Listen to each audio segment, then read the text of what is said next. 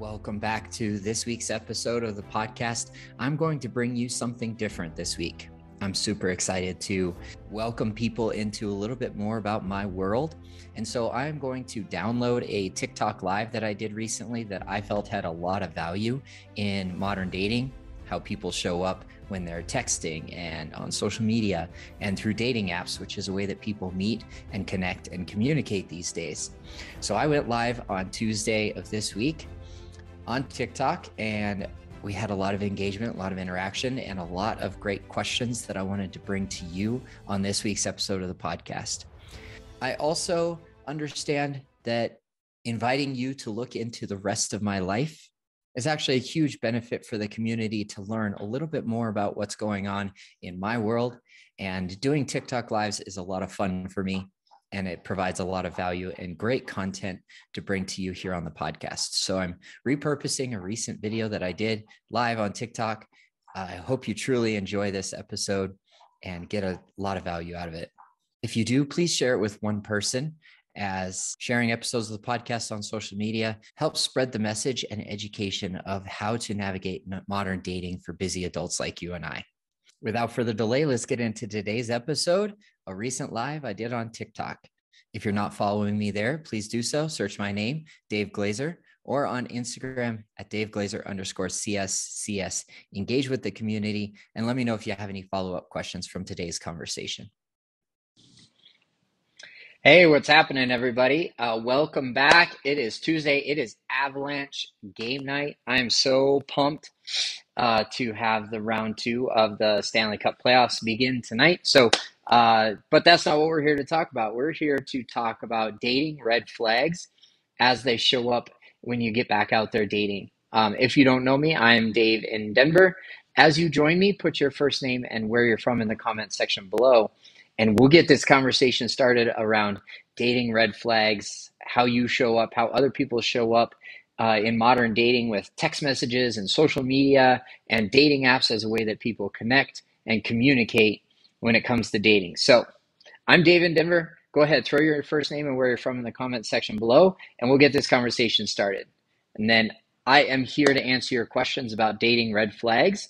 What shows up for you as you get out there um, in dating in the modern era. You know, mostly with texting as communication. Um, ghosting is a huge red flag. Hey, Kels, thanks for joining us. So I did end the codependent disaster I was in. Congratulations, Kels. That's awesome. What have you seen show up for you since you ended that uh, codependent relationship? You you call it a disaster, and I don't doubt that it was incredibly challenging um, to end something that had some codependency as a part of it. So tell me what your experience has been like since. And if you guys don't know me, I'm Dave in Denver. Click that follow button so that you know when I go live next. Um, and I'd be open and here available to answer your questions. Last words to me were, um, why are you in it? LOL. My last words, uh, it sounds as if those uh, that question really hit home for you. So tell me more. Tell me more about your experience. Oh, long distance, and he was stalking you. Yeah, I can understand how uh, stalking stalking could be uh, a really confronting and uh, complicated experience. So sorry you had to go through that, but uh, glad to hear you're uh, moving on. B. Miller, thanks. Yeah, Denver's a great place. Uh, what brought you to Colorado? Welcome. Hey, Kristen, can we talk about meeting people organically? I have to get off dating apps. Yes, absolutely, Kristen. This is something I've been wanting to talk about for a really long time here on uh, my TikTok lives. So, um, I recently broke up with my dating apps maybe like six weeks ago. Uh, they were just were not serving me whatsoever. Um, what I found as I was out there dating and intentionally dating on the dating apps is that was one of those things that was causing me anxiety and a lot of question marks around other people's behavior, my own behavior as I was showing up on the dating app. So I went cold turkey. I deleted my dating app profile, and I have never been happier as far as it goes with dating. Um, I took some time off to just kind of reset and refresh because I saw some of my own red flags showing up. And while I'm open to a relationship, I'm not necessarily seeking one out. And this is the joy and this is the benefit of not having dating apps because I can definitely become distracted by a dating apps. Thank you for that feedback and that reflection, Candace. I appreciate it. Yeah, they disrupted my peace as well. That's a really good way to say it. So, um, if you guys don't know me, I'm Dave in Denver. I'm a personal trainer who's passionate about connecting mind and body so that we can live the lives that we want. So, go ahead, click that follow button so you know when I go live next. We were talking about meeting people organically. So, um, in the past six weeks since I deleted my dating apps, I've had a few friends reach out and say, Hey, I would love, hey, Teresa, thanks for coming back. I would love to connect you with a friend of mine. You know, they're new to town, or we feel like you guys would have a lot in common. So let me, are you open to being connected? And a couple of times I've said yes to being connected to a friend of a friend. That's one way organically to meet. However, what happens when like people can't read your mind, right? Like they don't know that you're actively looking or open to a relationship. So what would it what would it feel like for you guys to go to your friend group and say, "Hey, I'm open to a relationship. I'm actively looking for one. I don't want to do the apps. Do you know anybody in your friend group or coworkers or whatever, church group, whatever, um, that would be a good fit for me? Because who knows you better than your friends, right? And yes, they may have uh, like a subjective opinion about who would be a right fit for you, but they know you best, right? And they want what's best for you. They're going to have your best in- intentions um, in mind. They might not always get it right, um, and yet they will still give it their effort. So that's one way to meet people organically. Um, it's becoming very beautiful here in Colorado. So getting outside, like going to a local park, Cheeseman Park, Congress Park, Wash Park, to play volleyball. I've been recently invi- invited to play volleyball. I declined because I don't need any more physical activity in my life on top of jujitsu and working out. But um, recently, I was at my neighborhood pool, my community pool for where I live, and chat uh, began an organic conversation with the girl sitting on the um, lawn chair next to me exchange numbers. Uh, we'll see where that goes. Who knows?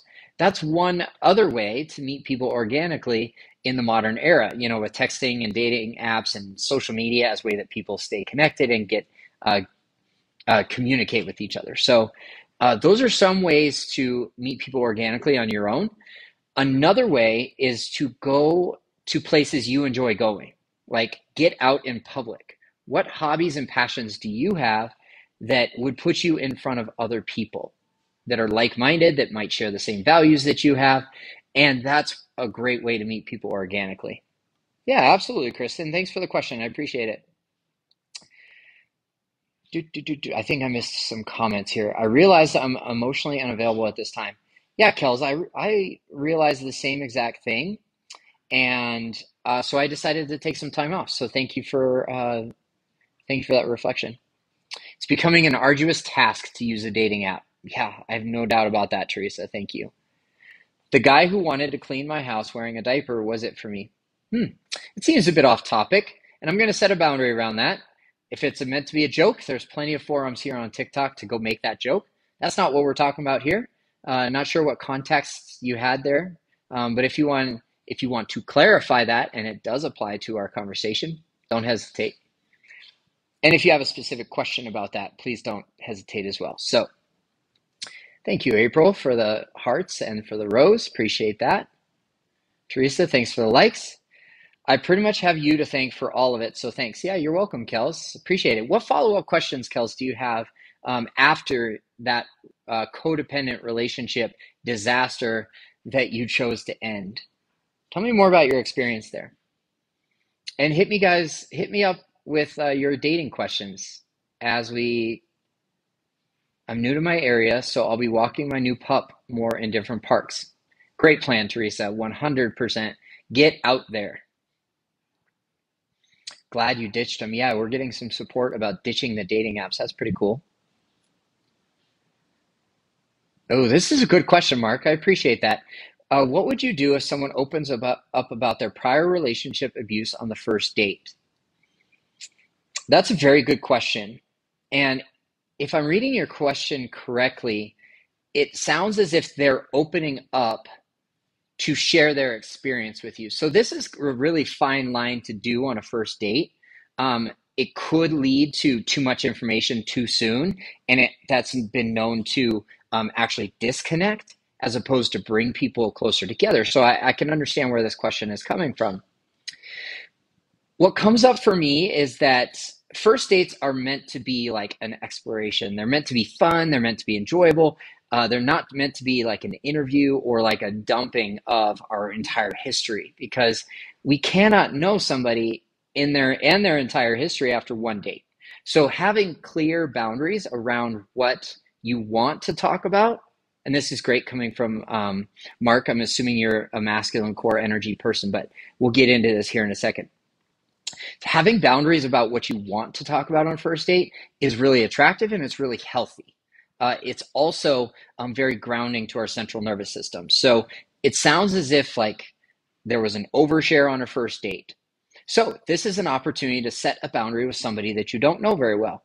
Hey, it sounds like you went through something really difficult. I might not be the right person to talk to about that. I'm interested in getting to know about your relationship history further in the future. Right now, I don't feel as if this is the right time to have that conversation.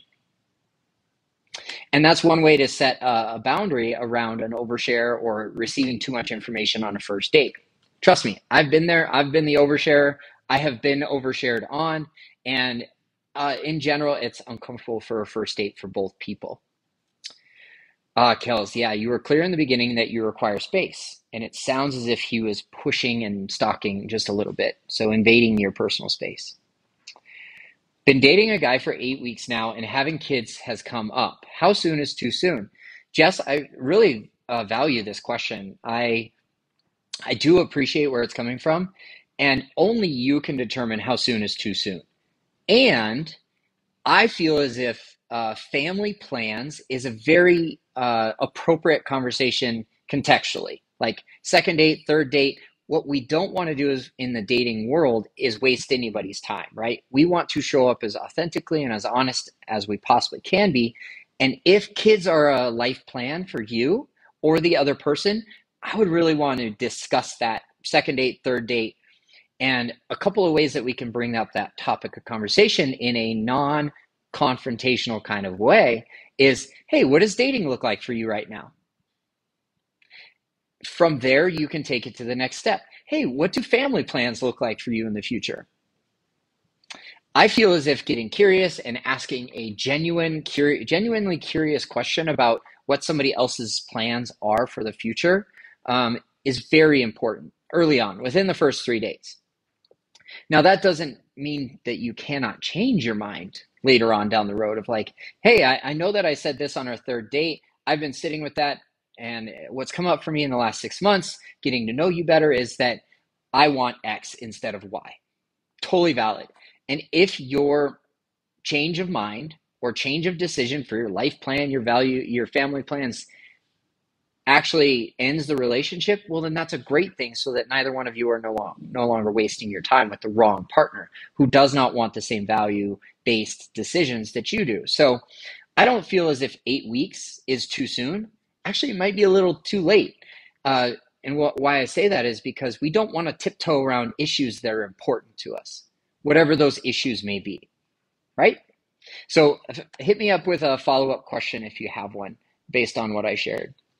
He was depending on me too much, jealous of even celebs. I don't understand what you're trying to say there, Kels. How did jealousy of celebrities show up in your relationship? Teresa, I find negative, I find I navigate poorly about just how much to share on a first date. Yeah, that's understandable, Teresa. I, I feel as if you're not alone there. I certainly don't know what I would want to share on a first date until I'm actually there, right? Like, what was our conversation like before the first date? Was it just logistical planning for the first date? Because that's generally what I recommend. Or was there oversharing occurring before the first date? Like, hey, um, I'm looking forward to our first date on Friday. By the way, I just got out of a relationship. I don't know what I want right now, um, and so forth, right? So that might be a red flag showing up of like, are you already oversharing? We haven't even gone on our first date yet. So I'm going to pump the brakes and get curious about where this is coming from. Are you experiencing some anxiety show up for you around our first date? Being that you just shared with me that you've been recently out of a relationship. So, uh, let me know, Teresa, if you're looking for more support on that topic. Uh, I'd love to invite you to our uh, small group coaching program free for a week. So let me know if you want some more details. Um, I believe in love at first sight because we fell in love that fast. I believe God brings people together. Okay, April, that, that definitely sounds as if it's um, part of your relationship programming. And for you, it sounds like your truth. Thanks for sharing. Mark, okay, I said something quite similar, and then he shared again about a near death experience. Thank you so much. Yeah, uh, that sounds like a lot of oversharing on a first date.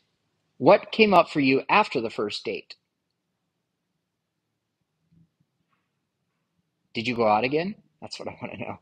Uh, Kels, at 40, he decides, let's call my dad and random people for answers. Oof. Sounds like a lot of boundary crossing right there. So, what's next for you, Kels? hey, Steve. Welcome back. Happy Tuesday to you, too. I was crystal clear and have screenshots to prove. Okay. Uh, Kels, what is it about continuing to prove what your experience was like in the relationship?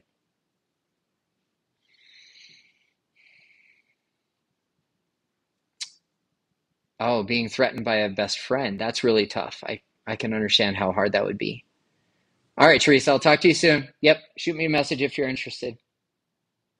Appreciate the likes. I've got about five more minutes here, everybody. Hit me with those dating red flag questions as you join us. Yeah, you bet, Jess. We're on the same page with kids. He brought it up and is looking for marriage and family. Awesome. What is it about the topic that inspired the question here on the on the TikTok live? Because it sounds as if you guys are on the same page. I wanted proof to my dad and random friend. Okay, now that you've proved it to your friend and your dad, what is next for you, Kels? All right, Mark. Yes, we went on a few dates after as well. I was intentionally dating with intention to be more open. We're not dating anymore. Okay.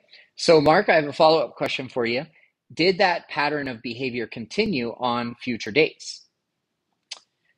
Jess says, I'm recently divorced but can see myself with him. Okay. You said eight weeks, right, Jess? It sounds as if you have a good connection.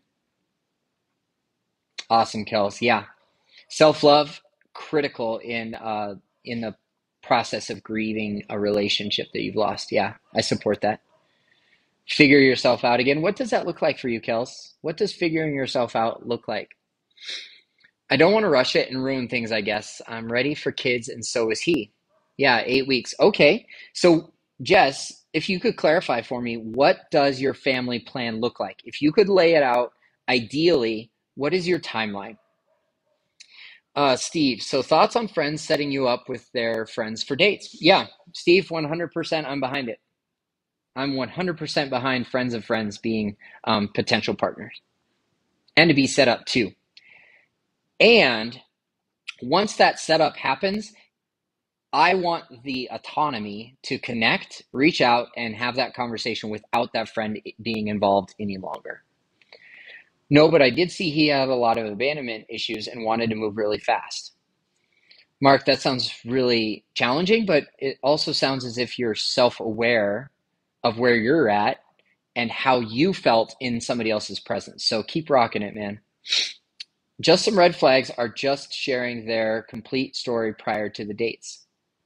Yeah, I can understand where you're coming from there, Steve. That um, sharing too much before a first date or before you've even gone out is an attraction killer. Like, honestly, there's no mystery there anymore. Okay, Jess, yeah, that makes sense. If you're going to be 34 this summer and you want that, you want your first kid by 40, sounds like a reasonable timeline to me. Keep me up to date though, because I want to hear more about how this uh, connection builds in the future. We're here to support you guys as you go through modern dating with text messages and social media and dating apps is the way that people meet nowadays. So if you want more information on uh, group coaching or one-on-one coaching, don't hesitate to shoot me a message on Instagram. click that follow button here on TikTok so that you know when I go live next. And uh, I'm happy to answer any of your dating questions as a follow up to this conversation tonight. Thank you so very much for tuning into today's episode. I know that I talk very, very fast on this live episode or this live TikTok version of the podcast. And if you have any follow up questions, please don't hesitate to ask me on Instagram at Dave Glaser underscore CSCS regarding your life, career, fitness, nutrition, or how to pursue your purpose while juggling everything else that you have going on in your life. If you have questions about our small group coaching, please don't hesitate to reach out now. Until next week, this is Dave Glaser in Denver, Colorado, wishing you health and happiness wherever you're at in the world.